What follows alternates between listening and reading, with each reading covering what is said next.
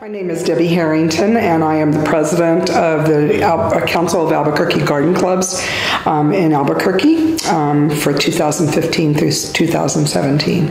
The Council of Albuquerque Garden Clubs was started in 1950 by a group of individual doctors and their wives um, in order to have a place to study and learn and educate the public more about gardening in our local area. Um, and in 1975, they built the Albuquerque Garden Center, which is within Los Altos Park. Um, it is a privately funded um, by our own members um, facility. We do not receive funding from the city or the county or the state, um, so we raise our own money. Our goals and, and our mission is to educate the public um, in the surrounding area about what grows well here, how to grow those things, floral arranging. We offer a lot of programs for children in the schools and have children's camp.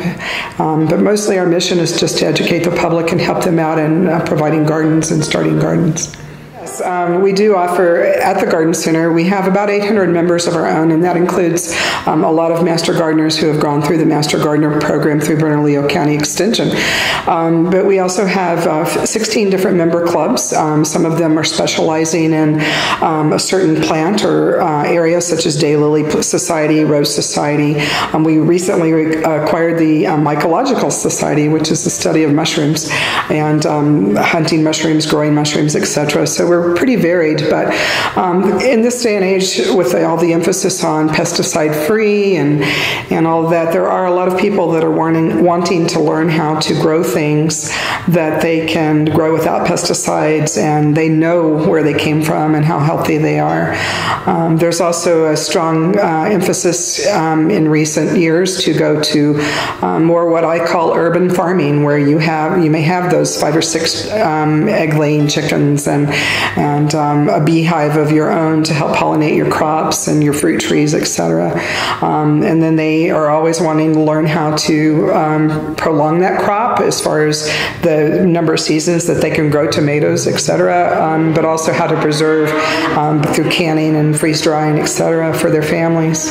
Okay, well, our master gardeners um, go into the schools. I believe it's fourth grade, and that's in conjunction with, I believe, Bonnie plants. but we uh, I am a member of several different clubs within the group, and I myself had two clubs up until this year. Um, my presidency and the two clubs didn't work well together, but I had a club at Double Eagle, and and then I had a club um, at Manzano Mesa Elementary School, and in one of those I had 56 students, and the other ones I had uh, 20, 20 to 25, and we planted um, flowers in the flower beds out front. Um, APS is limited on beautification; they put in great trees and and water sources, but they don't do much as far as the extra landscaping. So it's nice to see see that be done that the community can enjoy and take pride in. But more than anything, I some of my best memories are working with children that have never played in the dirt or planted a seed and watched it grow or put in a flower bulb and seen the daffodil come up the next spring and that type of thing. And um, when we do that, we also teach them about the importance of growing their own food and and um, that it is healthy to eat vegetables and not, you know, fast food and junk food. And um, I have found that children will eat almost any vegetable if they grew it. A grant from Albuquerque involved would um, help us right now to um, make some capital improvements to our aging facility. Like I said, the facility was built in 1975.